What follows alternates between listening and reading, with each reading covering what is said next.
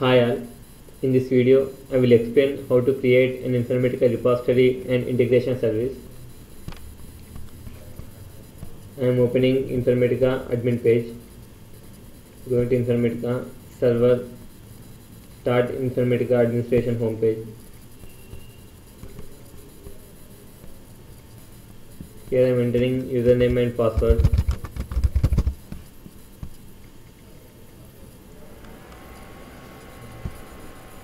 Here we do not have any repository service and integration services. Going to domain right clicking new power center repository service. Here I am giving the name as Srikanth underscore repository service. And selecting the license and selecting the node service. Next. I am selecting the SQL Server database and giving the database username and password and database server name and database name.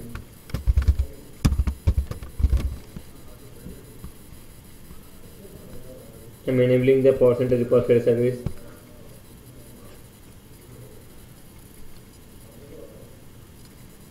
Here power center repository service is available now I am creating Informatica integration services.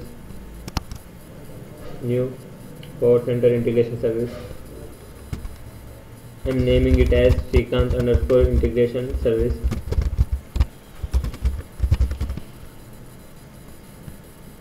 Selecting the license and selecting the node.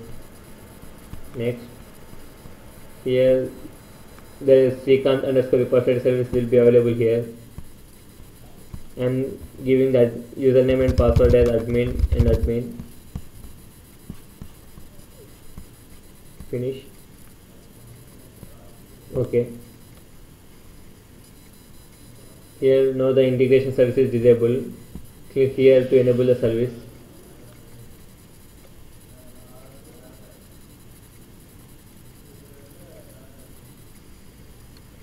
Now here power center integration service is available now I am opening the power center designer.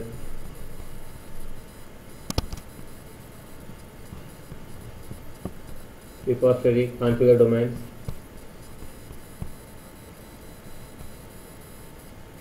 okay connect. Username and password. Now it connected to the Srikanth underscore repository services in this folder we have mappings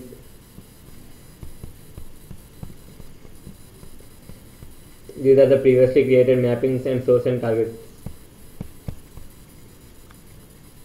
Thank you. Thank you.